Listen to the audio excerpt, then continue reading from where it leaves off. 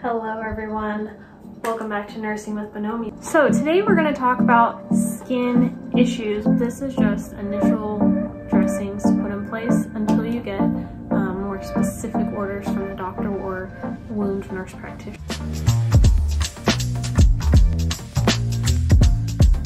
So first we're going to talk about skin tears. Those are probably going to be the most common type of injury that you're to see if you're working with older people just because their skin is so fragile and they just get bumped and their skin just literally tears.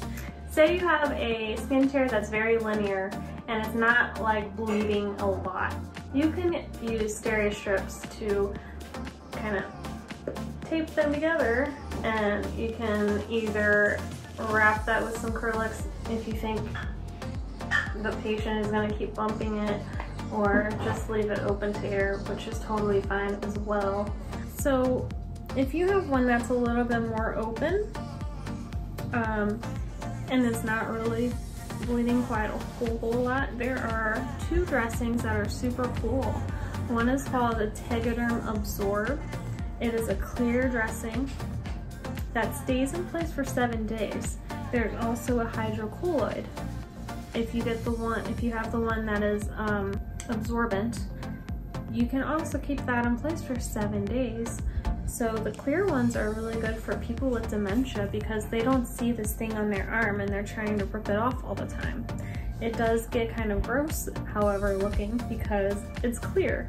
And so you can see what's going on underneath of it and it can get really disgusting looking, but they are so effective. They are really effective. Um, those are really cool.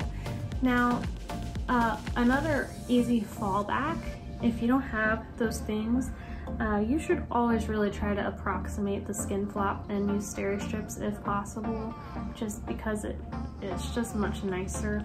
Um, but if you're in a pinch and you really don't, you just don't know what to do, you can use either an oil emulsion dressing or a Xeroform and you simply lay clean, obviously you always clean and pat dry you're gonna lay it over the top and then you can either wrap it with Kerlix or you can put a foam dressing over it. Brand name is uh, Mepilex, but there's plenty of other brands. It's called Bordered Foam. It's a foam dressing with an adhesive border. Okay, so those are a few different things you can do if you encounter a skin tear. Now, this is just like first aid, if you will. It's the first dressing that you're gonna put on when you immediately see the injury. You're also gonna notify the doc and let your wound team know so that they can change the treatment if necessary. A DTI, deep tissue injury, that is basically when it, it's a pressure injury and it looks like a deep purple color. It looks like a deep bruise. That usually will either resolve or it may open up um, and become a stageable pressure wound. Um, you're just gonna do what's called paint. Paint with betadine, leave that puppy open to air. If you keep covering the area, it's going to get moist and it's going to deteriorate. Sometimes you might saturate gauze with betadine and wrap it around the heel and leave it on like that. But most times, Painting with betadine leaving open to air is sufficient. Um, you can also are going to do that with a stage 2 pressure ulcer. Um, you're also going to put betadine on a scab. Let's Say somebody has a, a big scab on their knee or something, or on their forehead where they fell. Um, you just paint with betadine a couple times a day, and it will eventually dry up and fall off. Um, you can also do that if somebody has a venous or, or arterial ulcer on their foot because those types of wounds, if there's diminished blood flow to the area, you don't want to keep them wet. You want them to dry up. If they're wet with no blood flow, they're likely to get infected. And you can just leave those open to air. Now let's talk about people's booties. Stage two pressure ulcer on the sacrum you really just need to put some zinc ointment on it, okay? Um, when you have a pressure ulcer, you're just gonna be putting something in place until they're assessed by the wound team. if you get a new admission. So basically speaking, zinc is really good at healing things. You're also gonna put that on moisture associated skin dermatitis or MASD, M-A-S-D. That's basically where you have some erosion of the skin for um, which is caused from people laying in urine or perspiration and their skin on their bottom can get really excoriated and painful.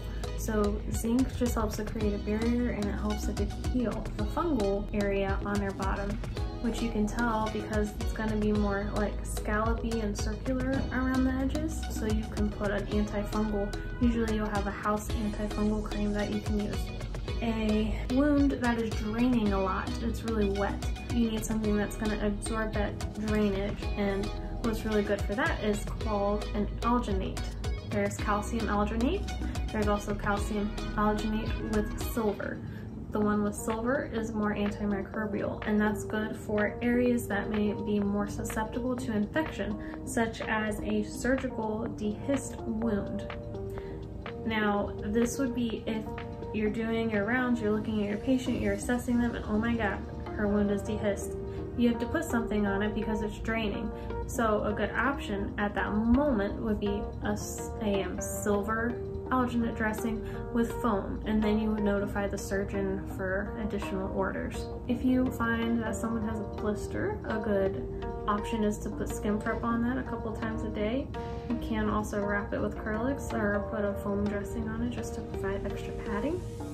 And then likely the nurse practitioner or the wound doctor, whoever rounds with the wound team, will likely try and evacuate that um, blister so it doesn't burst on its own. I hope that this really helped you. So if you have any comments, suggestions on what videos you would like next, please let us know in the comments below.